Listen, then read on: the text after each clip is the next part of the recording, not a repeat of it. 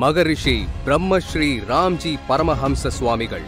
இவர் வெறும் ஜோதிடர் மட்டுமல்ல ஆன்மீக உலகின் அடையாளம். தன் வாழ்நாளின் ஒவ்வொரு நிமிடத்தையும் இறை பணிக்கும் இல்லாதவர்களுக்கும் செலவு செய்பவர். உலக நன்மைக்காக ஸ்ரீமடம் என்ற ஒன்றை துவங்கி அதில் தினமும் வேள்விகளும் அன்னதானமும் செய்பவர். தாந்திரீக உலகின் சக்கரவர்த்தி இவரிடம் ஜோதிடம் பார்க்காத பிரபலங்களே யாரும் இல்லை இவர் செய்து தரும் விஷ்ணு மாயா பூஜைகளால் சரியாகாத பிரச்சனைகளே இல்லை. இணையம் எங்கும் இவர் முகம். தொலைக்காட்சிகளில் இவர் குரல். மகரிஷி அவர்களுக்கு ஜோதிட உலகின் சக்கரவர்த்திக்கு எங்கள் வணக்கங்கள். நான் உங்கள் ராம்ஜி. இன்றைய நல்ல நேரம் நிகழ்ச்சியில வியாபார விருத்தி அடைய தொழில் மேம்படைய என்ன செய்யறதுங்கிறத பார்க்க போறோம். கடல் நீரை ஒரு வாட்டர் கேன்ல பிடிச்சிட்டு வந்து அதுல மஞ்சள் கலந்து வீடு ஃபுல்லா தெளிங்க வியாபார ஸ்தலங்கள் எல்லாம் தெளிங்க. பெருமாள் கோயில்ல இருக்கிற மடப்பள்ளிக்கு செங்கல் தானம் பண்ணுங்க. வியாபார விருத்தி அடைய வேண்டுபவர்கள் ஸ்ரீமடத்தில் நடக்கும் வேள்வியில் பங்கு பெறலாம். நான் சொல்வதை கேட்டு நடந்தால் எல்லா நேரமும் நல்ல நேரம் தான் புதுயுகம் நேயர்களுக்கு இனிய காலை வணக்கம். இது உங்கள் நல்ல நேரம் நிகழ்ச்சி. வழக்கம் போல நம்ம நிகழ்ச்சியை சிறப்பிக்க நம்மோடு இணைந்திருக்கிறார் மகரிஷி பிரம்மஸ்ரீ ராம்ஜி பரமஹம்ச சுவாமிகள். சுவாமிஜி நம்ம ஷோக்குள்ள வெல்கம் பண்ணிக்கிறோம். வணக்கம் சுவாமிஜி. வணக்கம் வணக்கம். ஆதித்யாய ச சோமாய மங்களாய புதாய ச குரு சுக்ர சனிப்பியச்ச ராகவே கேதவே நமஹா. உலகெங்கிலும் இருக்கும் என் ரசிகர்கள் அனைவருக்கும் வணக்கம். வணக்கம் சுவாமிஜி. ஷோல வழக்கம் போல ரெண்டு செக்மெண்ட் ஒரு அதிர்ஷ்டக்காலர் ஒரு தாந்திரிக பரிகாரம். முதல்ல நம்ம அதிர்ஷ்டக்காலர் யாருன்னு பார்க்கலாம். வணக்கம் நல்ல நேரம் நிகழ்ச்சி. சொல்லுங்க. வணக்கம் ஐயா. வணக்கம் சந்திரபாபு சந்திரா பாபு ஆ. சந்திரபாபு. சந்திரபாபு அவர் அவர் கேட்குற டீட்டெயில் பதில் சொல்லுங்க. சந்திர சரிங்க. சந்திரபாபு உங்க பிறந்த தேதி பிறந்த நேரம் பிறந்த இடம் சொல்லுங்க. ஏழு பதினொன்று ஆயிரத்தி தொள்ளாயிரத்தி எழுபத்தி ஒன்பதுங்க ஐயா. எங்க மாமனாருக்கு பண்ணணும் ஐயா. பதினொன்று எழுபத்தொம்போது சரி சரிங்க எழுபத்தொம்போது உங்க மாமனார் பேரு சந்திரபாபுவா? ஆமாங்க ஐயா. ஆ சொல்லுங்க சொல்லுங்க அவர் டீட்டெயில் கொடுங்க. பிறந்த நேரம்? பிறந்த நேரம் சாயங்காலம் நாலு பதிமூணுங்க ஐயா. பிறந்த இடம்? ஈரோடுங்க ஐயா. ஈரோடு. எங்க ஈரோடு இருக்கீங்க ஈரோட்டில் எந்த இடத்துல இருக்கீங்க? சரி மிதுன ராசி. மிருகசீரிச நட்சத்திரம் மூன்றாம் பாதம் மீன லக்னம். நாலுல சந்திரன் ஆறுல செவ்வாய் ராகு குரு ஏழுல சனி. இது உங்க மாமனாரோட ஜாதகமா? எட்டுல சூரியன் ஒன்பதுல சுக்கிரனும் புதனும். பதினொன்றுல மாந்தி பன்னிரெண்டுல கேது. இதான் அவரோட கடைசி ஜென்மா. இதுக்கு மேல அவருக்கு ஜென்மாவே கிடையாது. ரெண்டாயிரத்தி பதினாறுல இருந்து முப்பத்தஞ்சு வரைக்கும் சனி தசை அதுல ரெண்டாயிரத்தி இருபத்தி ஒன்று நவம்பர்ல இருந்து இருபத்தி மூணு ஜனவரி வரைக்கும் கேது புக்தி. சனி தசைனாலே கஷ்டம். இதுல கேது புக்தி வேறயா? சனி ஒரு பக்கம் கேது பக்கம் ஒரு பக்கம். நல்லா செல்வ செழிப்பை கையில் கொடுத்துட்டு என்ன பண்ணுவார்? அப்புறமா கஷ்டப்படுத்தியிருப்பார். பார்த்தீங்கன்னா இவருக்கு ஒய்ஃப் இருக்க மாட்டாங்களே. இவருக்கு ஒய்ஃப் இருக்க மாட்டாங்களே. உங்களுக்கு மாமியார் இல்லை ஒரே ஒரு பொண்ணு ஒன்று அல்லது ரெண்டு பொண்ணு வரைக்கும் சான்ஸ் இருக்கு. இவர் ரொம்ப தனிமை விரும்பியா இருப்பார். இப்போ வந்து இவர் என்ன சொல்றது? இவர் வந்து இப்போ தனியா இருக்கார். ஆமாங்க ஐயா ஒரே ஒரு பொண்ணு? அந்த ஒரு பொண்ணால் தான் டார்ச்சரே தாங்க முடியாம. ஆமா. ஓடி போயிட்டாரே ஐயா ஓடி போயிட்டாரா? ஆமாங்க ஐயா அந்த பொண்ணு வெறும் சந்தையா போட்டு அவரை எங்க அனுப்பிட்டாங்க ஐயா. அவர் பயந்து எங்கேயோ வெளில போயிட்டாரு ஐயா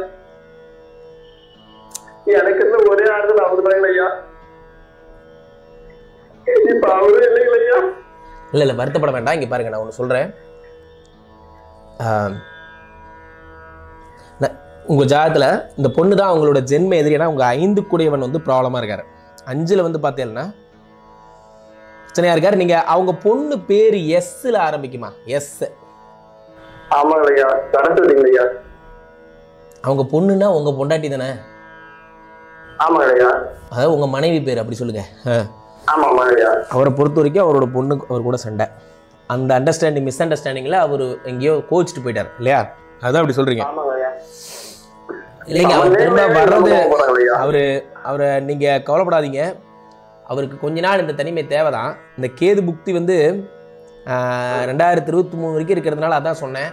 சனி திசை வந்தாலே கஷ்டம். இதில் கேது புக்தி அதை விட கஷ்டம். ஆஹ், நீங்க நிறைய அவர் இறை ஆசீர்வாதங்கள் பெற்றவர். அதான் சொன்னேன் கடைசி ஜென்மா இதுதான். அதனால தான் இவ்வளோ பா படுத்து எடுக்கிறார். அவர் கிளம்பி போன அன்னைக்கு சிகப்பு கலர் சட்டை போட்டிருந்தார் கரெக்டா ஆ, சிகப்பு கலர். ஆமா நீங்க தப்பு சிகப்பு கலர் சட்டை தான் எனக்கு போட்டிருந்தாரு. பார்த்தீங்களா அதனால தான் சொல்கிறேன் இந்த ஷோக்கு ஃபோன் பண்ணீங்கன்னா உங்களுக்கு நல்ல நேரம் நல்ல நேரம் வந்தாச்சுன்னு அர்த்தம். நீங்கள் அழலாம் வேண்டாம். உங்கள் பாருங்க கண்ணு முன்னாடி தெரியுறார். உங்கள் நீங்கள் இருக்கிற வீட்டிலேருந்து கிழக்கு பக்கமாக போனீங்கன்னா அவரை சந்திக்கலாம். அவர் இ- சிவனுடன் சேர வேண்டிய காலம் வந்தாச்சு. சிவனடியார் ஆயிடுவார் அல்லது துறவரம் மேற்கொள்வார். அந்த மாதிரி அவரை இறைவன் ஈசன் ஆன்மீக பணினால் அழைத்ததால் அவர் அந்த மாதிரி நிறைய பேர் பண்ணுவாங்க. என்னென்னா இந்த கேது திசையில் வந்து இந்த கேது வந்து மோட்சக்காரகன்னு சொல்லுவாங்க. கேது வந்து மோட்சக்காரகன். மோட்சக்காரகன்னா என்னென்னா இறைவனோட அவரை கலந்துறது தான் கேது ஒரு டியூட்டி நிறைய பேர் இந்த பிள்ளையாரை கும்பிட்றவங்க பிரத்யங்கராவை கும்பிட்றவங்கலாம் பார்த்தீங்கன்னா சீக்கிரமாக இறைவனடி சேருவாங்க. அது காரணம் என்னென்னா அவங்கெல்லாம் மோட்ச தெய்வங்கள். அவங்கள செட்டில் பண்ணி கூட்டு போயிடுவாங்க. அல்லது செட்டில் பண்ணி சாமியார் ஆக்கி விட்ருவாங்க இவருக்கு அந்த கேது வந்து ரொம்ப ஸ்ட்ராங்காக இருக்கிறதுனால தான் ஒரு சன்னியாசம் மாதிரி தான் இது. ஸோ அதனால் உங்களுக்கு அடுத்த வா வருஷம்லாம் அவர் வந்துடுவார் நீங்கள் பண்ண வேண்டிய பரிகாரம் என்னென்னா அதாவது நீங்கள் அது நான் ஏற்கனவே சொல்லியிருப்பேன். கேதுவை பிரீத்தி பண்ணணும்னா பிரத்யங்கரா தேவியை தான் நீங்கள் கும்பிடணும். ஒரு ஞாயிற்றுக்கிழமைகளில் ஒரு பிரத்யங்கரா தேவிக்கு ஒரு யாகம் பண்ணுங்கள் ஷம்பட்ட ஜுவாலே ஜிக்வே கராளதமிஷ்டே பிரத்யங்கிரே. ஷமஹரேம் ஹம் பட் ஸ்வாஹான்னு சொல்லும் போதே ஒரு வைப்ரேஷன் வரும். திரும்ப சொல்கிறேன் ஷம்பட்ட ஜுவாலே ஜிக்வே கராளதமிஷ்டே பிரத்யங்கிரே. ஷமஹரேம் ஹம் பட் ஸ்வாஹா. இப்படி சொல்லும் அந்த பிரத்யங்கராவுடைய மாலா மந்திரத்தை நாற்பத்தெட்டு தடவை சொல்லி மிளகா சிகப்பு மிளகா வாங்கி அமாவாசை யாகங்கள் ஸ்ரீமடத்தில் நடக்கும். வந்து கொடுங்க. ஸ்ரீமடத்தில் அமாவாசை யாகம் நடக்கும். வந்து கொடுத்தேன்னா அந்த மிளகாவை அதில் போட்டு எரிப்பாங்க. அதே மாதிரி வந்து இவர் எங்கே போனாருங்கிறத தேடி கண்டுபிடிச்சு பிரத்யங்கரா மீட்டு தருவார். சரியா? உடனடியா ஸ்ரீமடத்துக்கு வாங்க. ரொம்ப சந்தோஷம். உடனடியாக ஸ்ரீமடத்துக்கு வாங்க. எங்கிட்ட வந்துட்டீங்கன்னா இனிமேல் உங்களுக்கு நல்ல நேரம் வந்தாச்சுன்னு அர்த்தம். கவலைப்படாதீங்க. சிகப்பு சட்டையோட போனார். இருக்கு ஸ்ரீமடம் இப்போ வந்து மாங்காட்டில் இருக்குது அம்பாள் நகர்னு பேர். மாங்காட்டில் இருக்குது அங்கே நேராக வந்து பாருங்கள் அம்பாள் நகர் பத்தாவது தெரு. சரியா? அங்கே உங்கள் பேர் வச்சு உங்கள் மாமனார் பேர் வச்சு ஒரு யந்திரம் வச்சு நாற்பத்தெட்டு நாள் நம்ம ஹோமம் பண்ணுவோம். ஹோமம் பண்ணி அந்த கலச தீர்த்தத்தை அந்த யந்திரத்துக்கு அபிஷேகம் பண்ணுவோம். டெய்லி அபிஷேகம் பண்ணுவோம். இந்த மாதிரி நாற்பத்தெட்டு நாள் கழிச்சு அந்த யந்திரத்தை உங்களுக்கு தருவோம். நீங்கள் ஒரு நாற்பத்தெட்டு நாள் வழிபடுற மாதிரி இருக்கும். இந்த மாதிரி பண்ணிங்கன்னா இந்த மாதிரி கோச்சிட்டு போன மாமனார் திரும்ப வருவார். சரியா? ரொம்ப சந்தோஷம். உங்களை மாதிரி மாப்பிள்ளை நீங்கள் மாப்பிள்ளை கிடையாது. அவரோட பையன் நீங்கள் தான். உங்கள் மனைவி எத்தனை கொடுத்து வைத்திருக்கிறார்களோ உங்களை மாதிரி ஒருத்தர் கணவனாக கிடைக்க.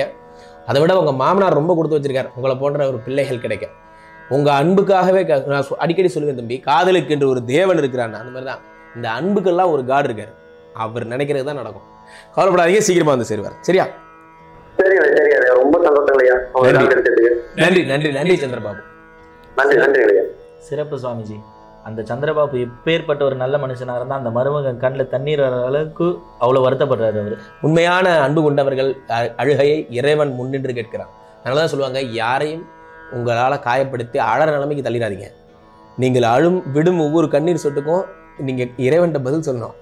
நேரக்குறைவு நம்ம தாந்திரிக பரிகாரம் பேர்ல அன்னைக்கு. இன்றைய தாந்திரிக பரிகாரம் வியாபாரம் விருத்தி அடைய வியாபாரம் விருத்தி அடைய ஆகாச தாமரை. பறித்து வந்து வியாழக்கிழமை வடக்கு திசையில் கட்டணும். அதே மாதிரி பணிபுரிகிற உங்கள் வீட்டு வியாபார ஸ்தலத்தில் இருக்க வடகிழக்கு செவிறு. அந்த வடகிழக்கு செவிற்றில் டெய்லி ஒரு டப் உண்டியல் மாதிரி வச்சு டெய்லி அதில் காசு போடுங்க. தென்மேற்கு மூலையில் வீட்டில் இருக்க தென்மேற்கு மூலையில் ஈசான்ய மூலையில் வீட்டில் உங்களுக்கு கௌமாரியுடைய இடம்னு சொல்லுவாங்க. அந்த இடத்துல எப்பயும் ஸ்வர்ணம் வைங்க. ஒரு பட்டு பேக் மாதிரி வச்சு வைங்க. குபேரனுடைய சிலை வச்சு குபேரனுடைய சிலை எப்படி இருக்கும்? அந்த சிலை குபேரனுடைய சிலை வந்து வீட்டு ஹால் நடுவில் வைங்க. அதே மாதிரி நிறைய வியாபார சத்தை தங்க மீன்கள் இருக்கிற மாதிரி பார்த்துங்க. ஒரு பெரிய தங்க தவக்கலை தங்க மீன் இதெல்லாம் வாங்கிட்டு வந்து வைங்க. எங்கே பார்த்தாலும் கோல்டு கோல்டாக இருக்கும் பிஸ்னஸ் பண்ணுற இடத்துல. எல்லார்ட்டையும் சொல்லுவேன் பிஸ்னஸ் பண்ணுற இடத்துல கருப்பு இருக்கவே கூடாது. கருப்பு கலரை ஒரு சோஃபா கூட வேண்டாம். கருப்பு கலர் கருப்பே வேண்டாம். எங்கே பார்த்தாலும் உங்களுக்கு வந்து வெறும் கோல்டு கோல்டாக இருந்தால் அந்த வியாபாரம் செழிக்கும். வியாபாரம் செழித்து வருவதற்காக நாம் என்ன செய்ய வேண்டும் என்றால் தினமும் நம்ம வந்து காலபைரவரை வழிபட்டு வர வியாபாரம் செழிக்கும். பௌர்ணமி திதிகளில் காலபைரவரை நீங்கள் வேண்டுங்க. எதிரிகள் சத்துருக்களே இருக்க மாட்டாங்க. போட்டிதாரர்களே இருக்க மாட்டாங்க. ஸ்ரீமடத்திற்கு வாருங்கள். இன்னும் வியாபாரம் சிறக்க என்னென்ன செய்யலாம் என்று நான் சொல்லித் தருகிறேன். சிறப்பு சுவாமிஜி இப்பெல்லாம் யாரும் வேலைக்கே போறது இல்லை. சின்ன பசங்க கூட வியாபாரம் பண்ணணும்னு தான் அந்த மாதிரி ஆட்களுக்கான பயனுள்ள தகவலை நீங்க சொல்லியிருக்கீங்க கண்டிப்பா. ரொம்ப சிறப்பு. ரொம்ப ரொம்ப ரொம்ப சந்தோஷம்.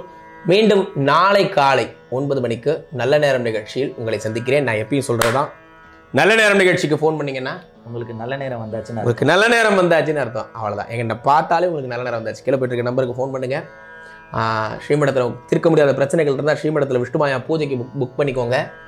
எல்லா நாளும் நல்ல நாள் தான் நாளை காலை மீண்டும் நானும் தம்பி பிரவீனும் சந்திக்கிறோம்.